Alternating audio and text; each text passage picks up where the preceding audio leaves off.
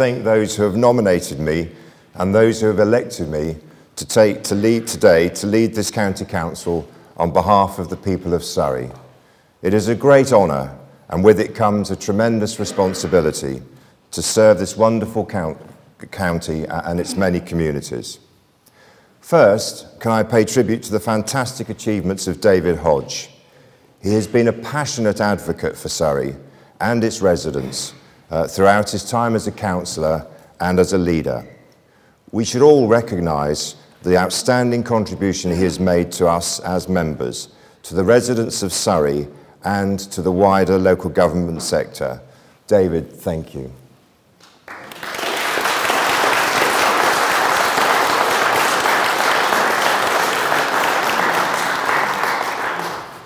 It is now my task to implement the core strategies members agreed in October, uh, and uh, I'm determined that we will deliver on these.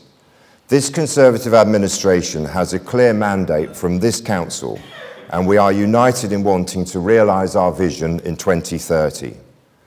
My commitment to the principles that underpin these strategies is unwavering. No one should be left behind we will take a fresh approach to working in partnership. We will help people to help themselves and others. And we will involve and engage our residents more fully in the development of our services. We are embarking on a journey of change, renewal and innovation, supported by our officer team, led by our excellent Chief Executive, Joanna Killian. Joanna has ably started the work of transformation, but it's now time for elected members to play their part. Our first objective must be to make Surrey financially sustainable once again. We need to reshape our services around the changing needs of our communities, making them fit for purpose both now and in the years to come. To do this, we will need to be creative and embrace new ideas to meet the aspirations of those we serve.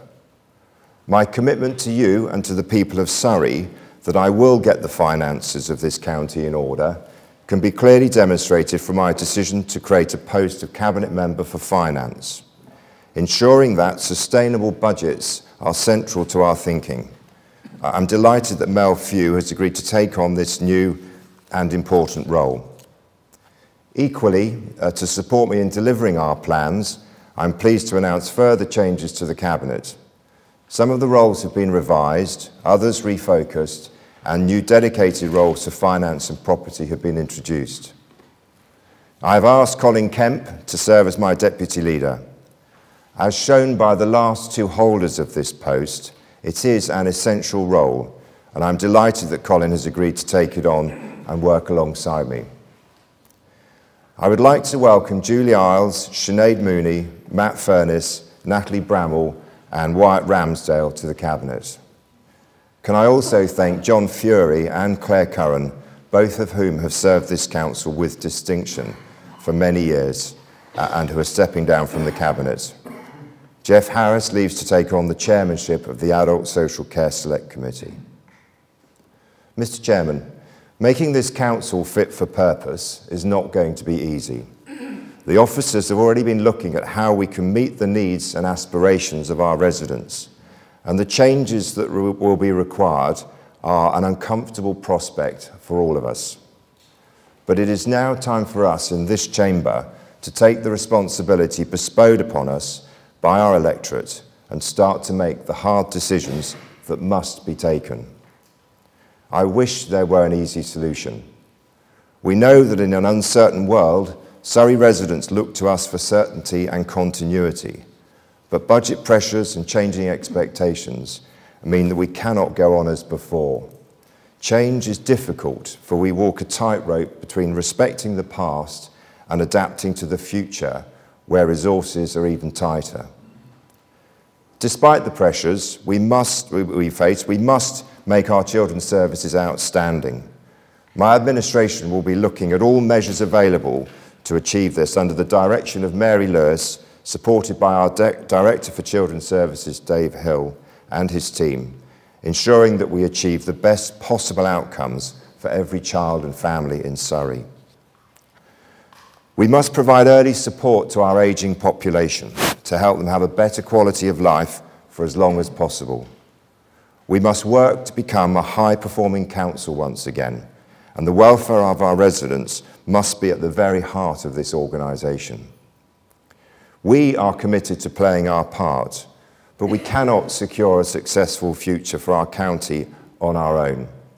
We must continue to develop more effective relationships and partnerships that are open, proactive and productive. Perhaps in the past we have been too internally focused for all the right reasons, but this might have led to us missing the outward view, scanning the horizon and anticipating the future on our residents' behalf. We will be needing all the help our partners in the voluntary, charitable and faith sectors can give us. And in turn, we will look at how we can be better partners to them. We need to ensure that alongside every essential decision we have to make, we are all satisfied that we have made every possible efficiency within our services, looked at every opportunity to generate money from our own assets or created new homes, and investigated every possible avenue of winning new funding or using new ways of providing services with our partners. Our residents, as we all know too often, do not distinguish between boroughs and districts or us. We are all Surrey to our residents, and we must work seamlessly in partnership as we look to fund our frontline services. When people need our help, they are often faced with being passed from pillar to post. That must end. We need to have people on our side, but as long as such isolation and disjointed service delivery continues, they will not be. It is vital we have our residents' backing because it is them we are here to serve and upon whom our future success relies. We will forge a new working relationship with central government in which we will work together. Whilst we must work to unlock funding and secure policy reforms that help us adapt to changing needs and pressures in our communities, I also want us to offer our support and assistance to them in finding solutions to problems felt across society. We will work with them to bring national agencies together with us to help solve the issues we face around health, skills, employment and infrastructure needs in Surrey uh, that we alone cannot solve, yet if achieved will enable us to do more for ourselves. We will work closely with all businesses across the county, large and small, to support them in providing jobs, to make them an integral part of our communities and to make Surrey the place to do business. We have disenchanted our residents and partners for far too long, and understandably many have switched off. Without their involvement, policy decisions risk moving further away from the public's needs and wishes, and I will be dedicated to increasing positive engagement and involvement to prevent this. We also need to empower the public and give them a genuine role in the development of our communities. It is not right that any organisation should assume it is better placed than the public to decide the future shape of individual communities. And Mr Chairman, Surrey County Council needs to return to Surrey. For too long, the emotional connection to a community has been taken for granted. For 50 years, we have not been close enough to our residents we serve and we all represent. I have therefore asked the officers to start the detailed planning for the relocation of the people in this building back into the county of Surrey.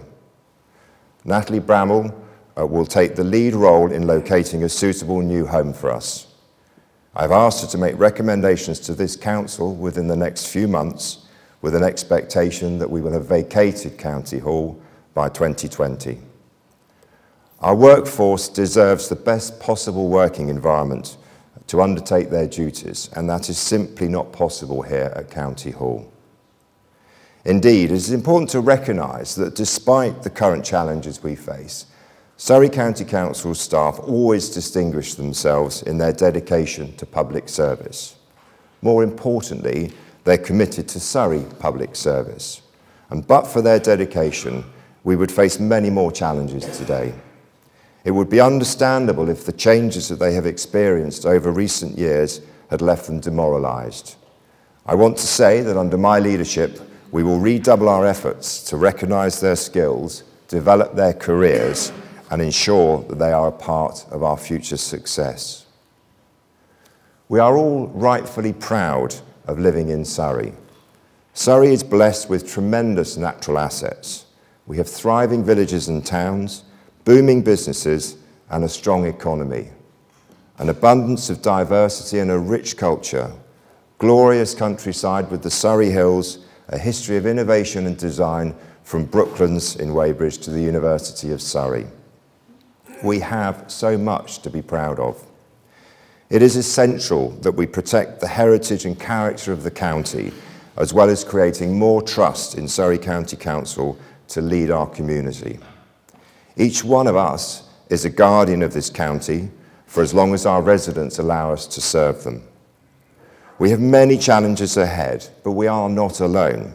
Others are following a similar path, and I'm confident that we can learn from our peers in local government, draw on their experience, and take our rightful place as one of the leading counties.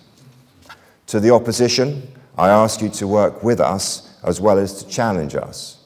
And to this end, we will begin an immediate review of the role of scrutiny as well as democratic governance. You need to be involved at an earlier stage of policy formation, as all our residents' views are equally important. But in return, you must engage and not sit on the sidelines, for you have a key role to play. We need to work together for a Surrey that we and all our residents can be proud of. The bottom line is that we have a difficult task ahead of us, but we know what we have to do. It is now time for us to roll up our sleeves, stick to the job in hand, and make sure we see it through. The current challenges are not all for Surrey County Council. They are challenges faced by our communities, and as such, the solutions must be designed together with businesses, residents, staff, members, other councils, voluntary, community and faith sectors. We are stronger together and we will secure a bright future for Surrey together. Finally, Mr Chairman, we must have humility, an ability to look backwards and learn from our previous mistakes so we can adapt and ensure the future is brighter, that the future provides our residents with the services they need and work together to ensure the services we deliver are of the highest possible quality. We have a steep hill to climb, but with a commitment by us, all of us, to shape services for the future, with the commitment of our partners to combine our collective strength, and with the commitment of our residents to play their part, we can and will succeed. Thank you very much.